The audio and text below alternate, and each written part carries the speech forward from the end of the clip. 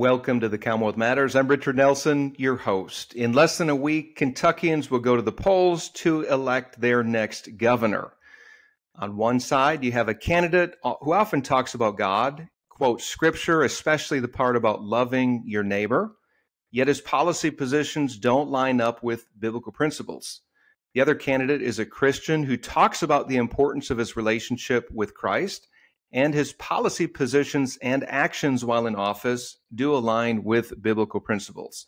So, how's a Christian to vote? Joining us to talk further is former pastor, author, and speaker Bob Russell. Bob, welcome to the program. Thank you, Richard. Good to be with you. And uh, this is such an important subject. I'm glad to talk about it. Bob, you have uh, talked about this for years the importance of Christians engaging elections and Christians voting, and not just voting, but voting biblical values. Uh, you recently wrote a column entitled Christians should or Christian voters should consider the spiritual issues this election. So, can you speak to that? Uh, unpack that. What do you mean when you talk about spiritual issues? In this gubernatorial election in particular? Yeah. Well, Jesus said we're to be the salt of the earth and we're to be the light of the world. That means we're not to isolate ourselves from the world, but Christians should be involved in the culture and Christian convictions should dictate how we vote and how we impact the culture.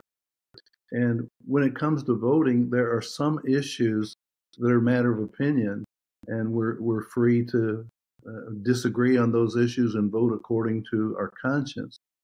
But in recent years, there are a number of issues that are really spiritual issues, and they've become political issues. And some people in church will, will say we shouldn't talk about politics from the pulpit, but politics is encroached on uh, on religion. And when it comes to the right to life, whether we protect the the least of these, the unborn, or when it comes to the sanctity of marriage and all the uh, the, the gender scramble that's being promoted today. Uh, when it comes even to uh, issues like uh, religious freedom, uh, does the government have the right to come in and shut down the church? There are a number of issues that are are not political issues; they are spiritual issues. And just because they begin to bubble up uh, on the ballot or in, in, the discussion that politicians have, that doesn't mean we back off from them. On the contrary, I think we need to be bold and courageous and say, here's what God's word has to say about this, and here's the way uh, a Christian should vote on these issues.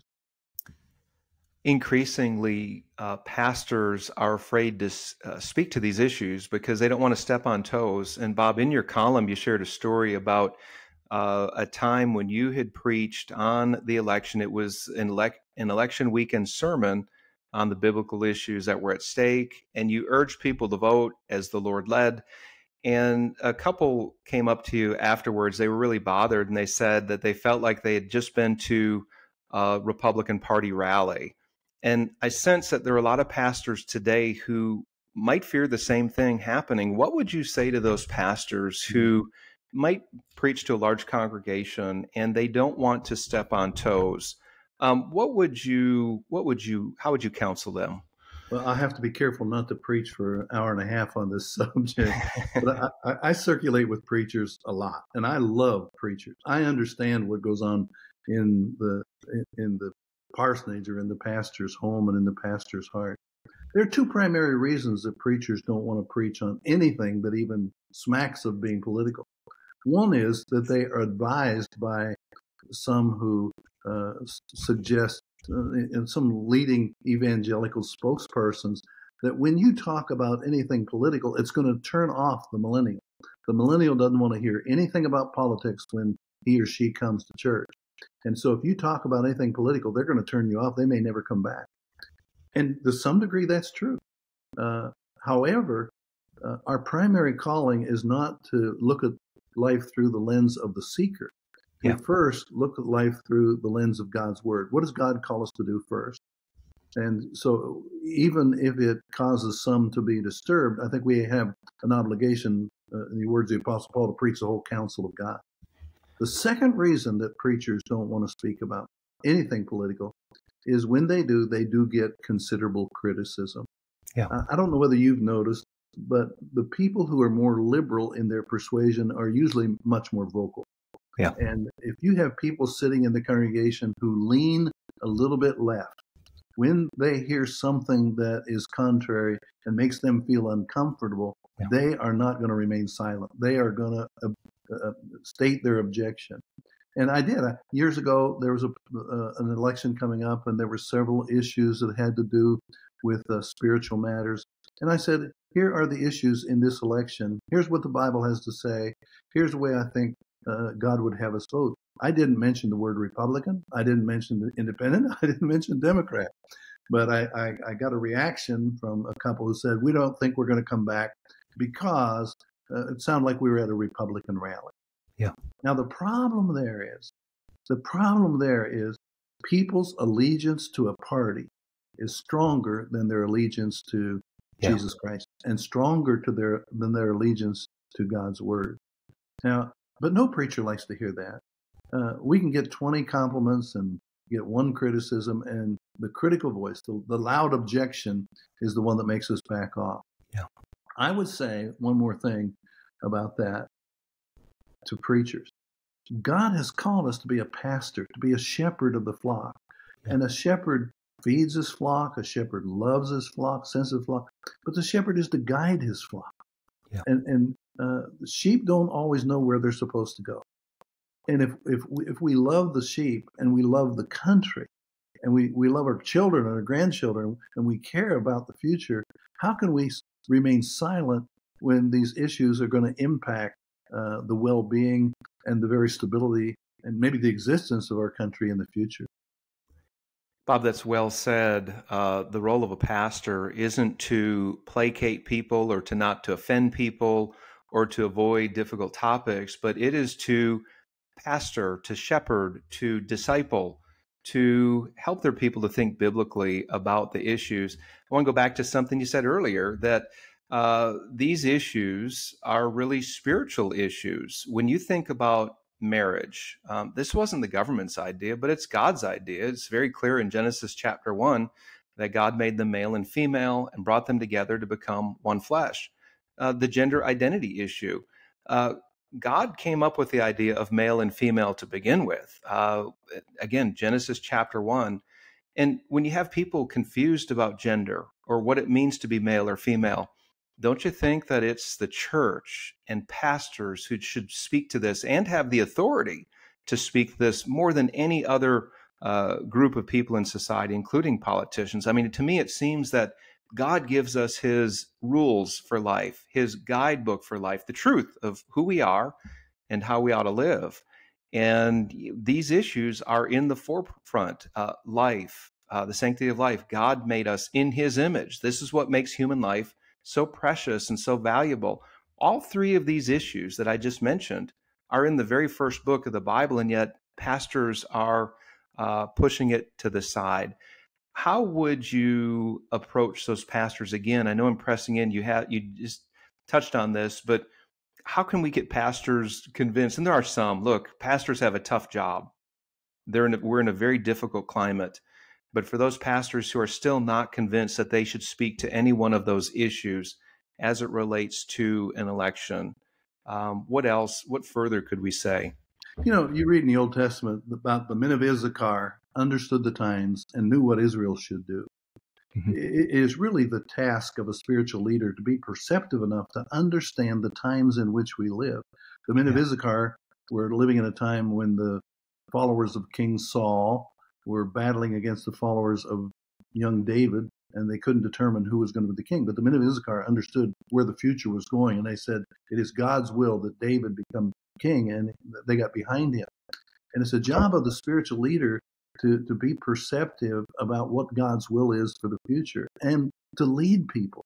To speak, if, if we can't speak out about issues about life and about marriage and about uh, the very uh, moral values of our children being taught in school. What in the world are we going to speak out about? That's right. Well, the, it, the, Bible over and over again says, "You be strong, you be courageous," and and it's not our job to put our finger up to the wind and see which way the wind's blowing or who's going to object. Lau Shallard used to talk about two kinds of churches. He said there are second commandment churches and there are first commandment churches. Hmm. The second commandment church is a church that takes the second commandment, love your neighbor as yourself, and tries to interpret what's going to be the most loving thing to do.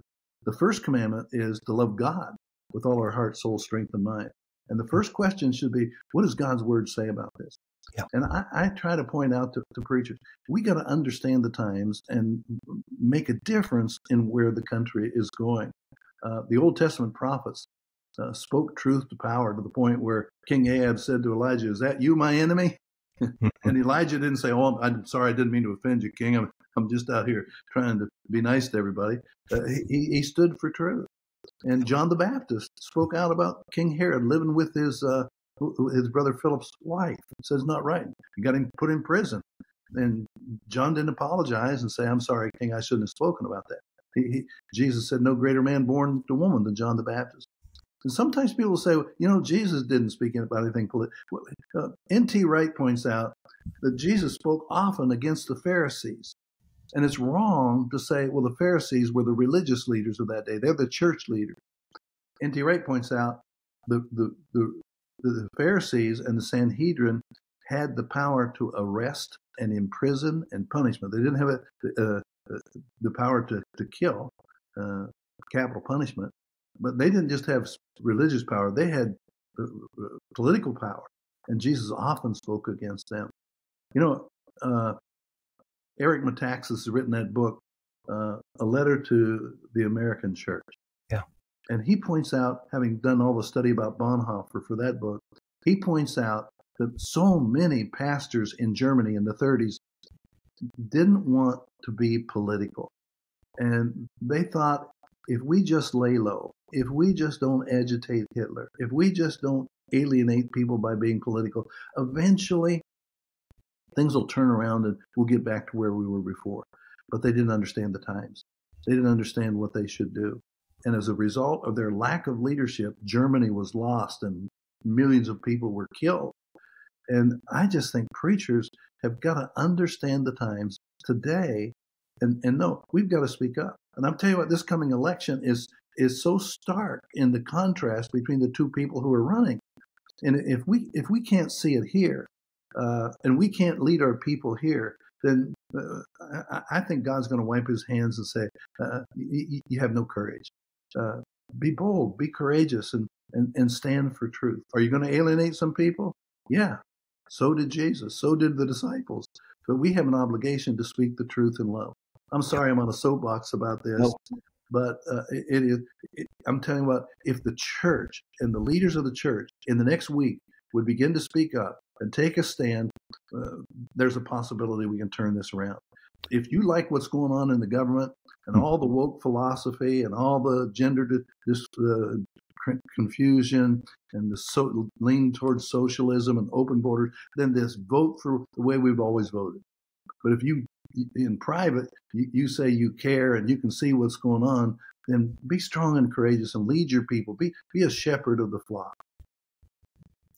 If you're just tuning in, you're listening to the Commonwealth Matters. I'm Richard Nelson with Bob Russell, and we are talking about the upcoming gubernatorial election. Early voting starts on November the 2nd, it goes through November the 4th, and election day is November the 7th. Uh, Bob, you were alluding to the big difference between the two candidates for governor here in Kentucky. Uh, I'm I'm going to name names. I'm just going to put it out there, and I want to just add a little caveat or a footnote, if I could, that I'm careful when I talk about somebody's faith. Um, somebody might have a, a maybe be a, a, baby believer or not very mature in their faith. So I want to be careful when I talk about uh, that person. However, when somebody talks about their faith in public, and especially if it's a political candidate, they open themselves up to a different level of scrutiny. And specifically, uh, Governor Andy Beshear identifies as a Christian. In fact, he is a deacon in his church. Uh, he likes to quote scripture. I've listened to him in person a number of times, quoting scripture, talking about God and what God would have us to do, and especially loving our neighbor as ourselves. However, when I look at scripture and see what scripture says about these core issues life, marriage, religious freedom, gender, uh, all of these issues, I do not see it lining up with biblical principles when I compare it to Andy Beshear's positions and what he's done while governor. On the other hand, we have Daniel Cameron, who is the Attorney General, and Daniel has shared about his faith and his relationship with Christ. I've heard him in person a number of times. His actions and his policy positions do line up with Scripture. Now, Bob, let's be frank, there are a lot of Kentuckians who identify as Christian, but they just don't know their Bible very well. Uh, they might be confused. They have two candidates running for governor who identify as Christian, and they're not sure how to think about these issues. Can you speak to that? Well, I am not anybody's judge of who spends eternity where. Uh, that's God's prerogative, and He's the lone judge. Mm-hmm. However, His word says, "By their fruit you will know them." Yeah. Somebody said, "I'm not a judge, but I'm a fruit inspector." so when it comes time to make a decision about who I'm going to vote for to to lead our Commonwealth, I'm going to look at the fruit. I'm going to yeah. look at the results. I'm going to remember what has been done in the past. I am not going to forget when I go to the polls, this one guy shut down the church on Easter Sunday, not only shut down the church, but sent uh, state police into the parking lot of a church that refused to shut down, took down license numbers in order to threaten. Now, that is so contrary to the, uh, our, our, our, our Bill of Rights and our right for religious freedom. And something's wrong when you try to shut down the church and you keep abortion clinics open and liquor stores open. Yeah. And, and by their fruit you will know them. This same guy says that he's a Christian, but he is for the killing of the unborn, right yeah. up to uh, he won't even take a stand uh, against uh, a partial birth abortion. Yeah. And uh, he he won't take a stand against the mutilation of young children in the gender dysphoria situations and the rights of parents to make a decision. And you know, I got a letter from somebody when I wrote the blog and I said I'm I'm going to endorse Daniel Cameron. Somebody said, "Well, I think uh, these issues matter, but character matters too."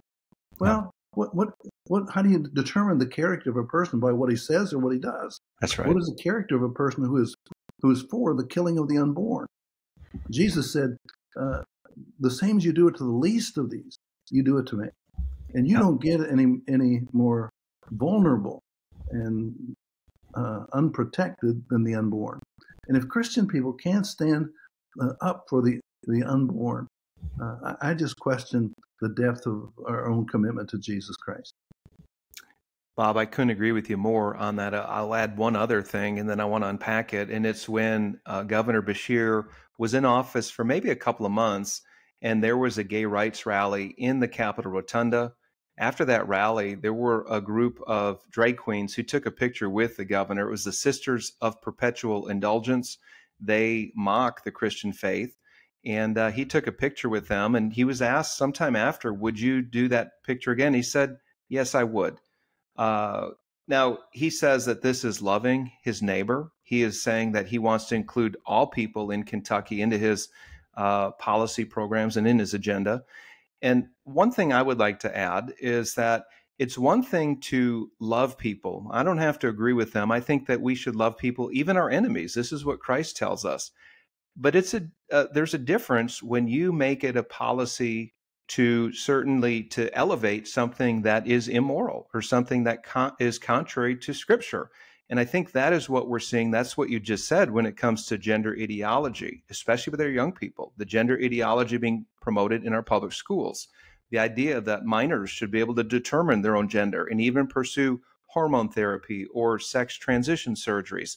It's one thing to love people on a personal level and to try to help them see the truth and walk with them in their time of difficulty. It's another when you take a policy position that's actually harmful, that is actually immoral. And I think I think that's what we're getting down to here. And in my lifetime, Bob, I have not seen a more far left political leader in the Commonwealth. As nice as uh, Andy Beshear may be, I think he does have he is a kind person. He does have a lot of empathy for people but when it comes down to his policy positions, I have not seen a more far left, um, anti biblical, and I don't think that's saying it too strongly. uh, leadership in the Commonwealth of Kentucky.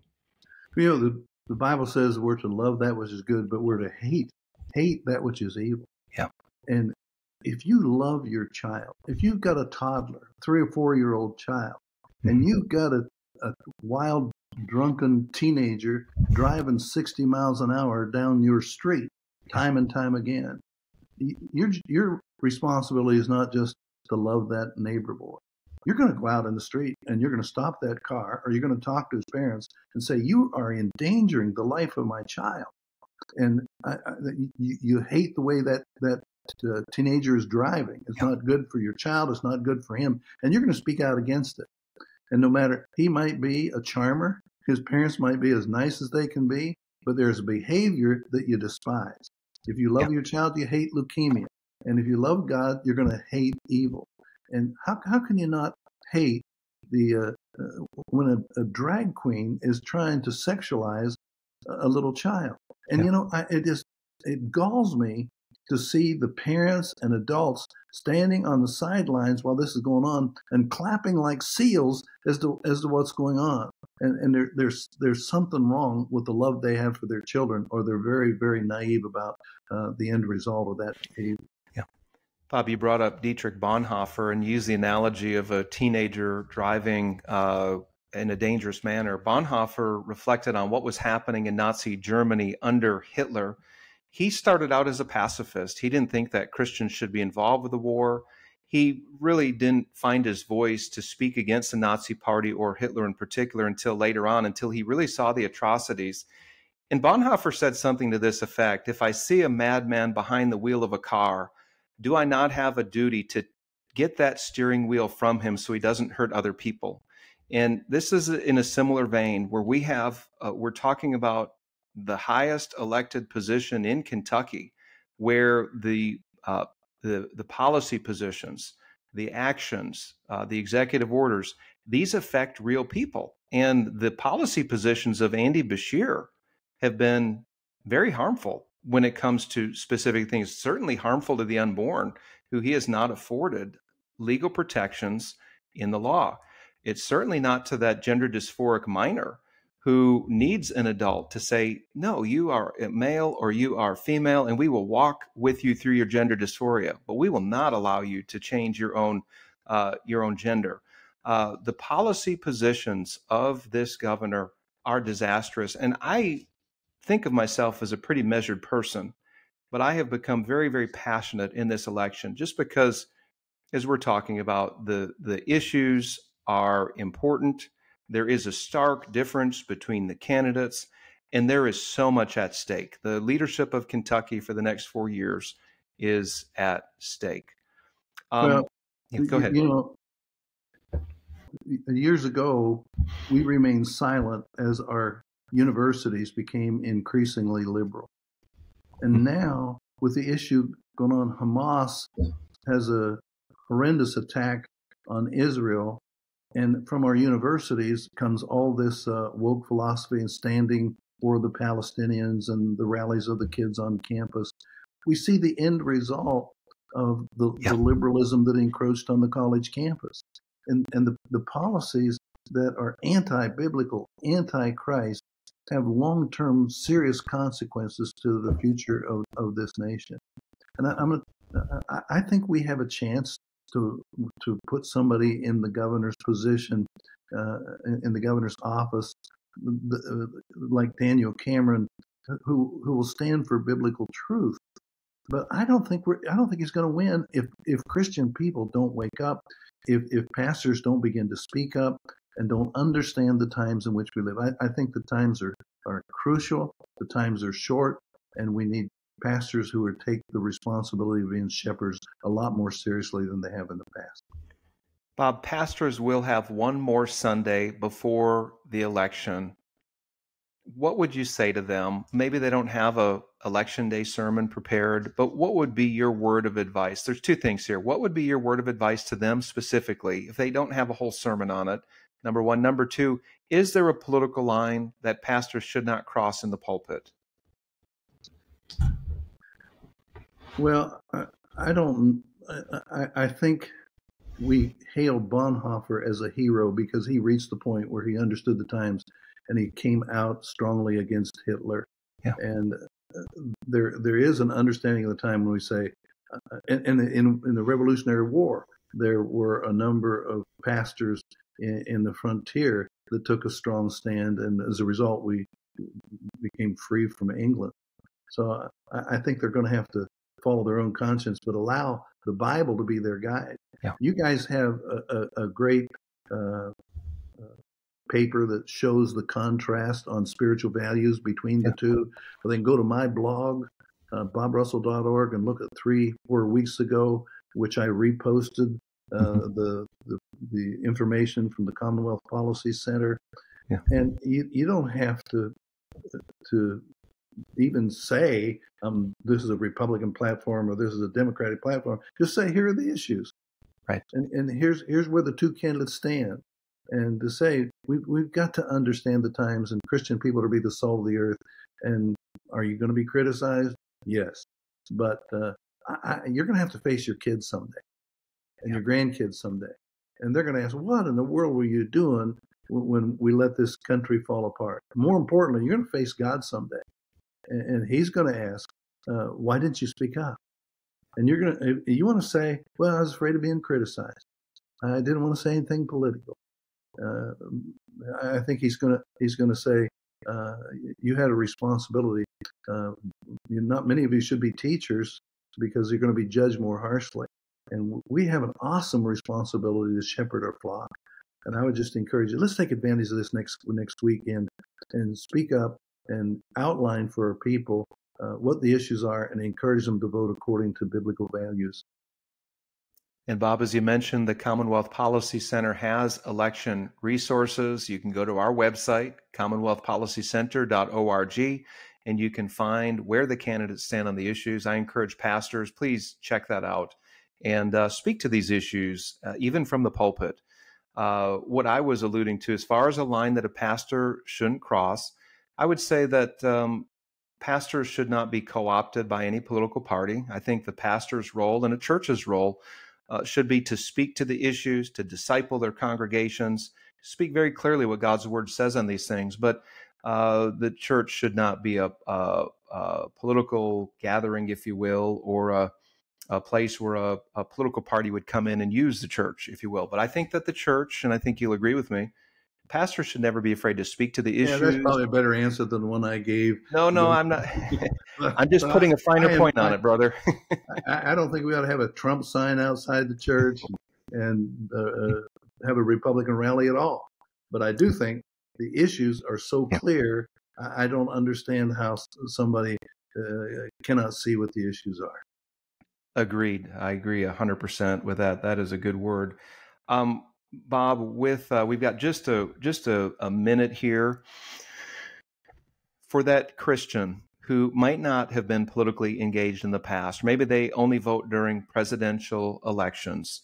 Uh, and they don't really understand a lot, but they are concerned about these issues. They do want to vote biblical values.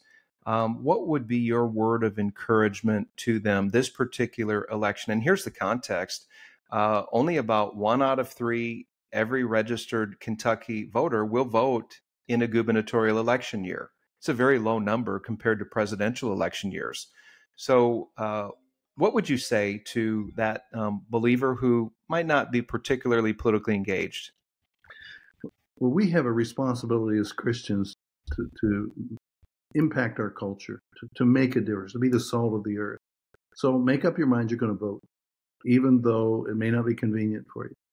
And secondly, you pray about how you should vote and look at the issues and vote intelligently. But then take somebody with you. Call some yeah. of your neighbors. Call, talk to some of the people in the church, and, and get enthusiastic about the, the, country in which we live.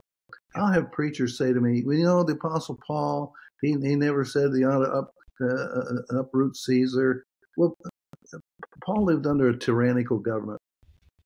Our government is a republic a constitutional republic. We are the government. It's the government of the people. And we have a responsibility to be stewards of what God has entrusted to us because mm-hmm. we're a part of that government. So I'd encourage You vote, you pray about how you're going to vote, you get somebody, uh, encourage some others to do the same, and maybe we can make a difference uh, this coming week. Bob Russell, that is a good final word. Thank you so much for joining me on the Commonwealth Matters. God bless you and you keep up the good work. And if you enjoyed this program, uh, please like us on whatever podcast platform you listen to, and also tell your friends about us. Encourage them to subscribe to the Commonwealth Matters. Thank you, and God bless you.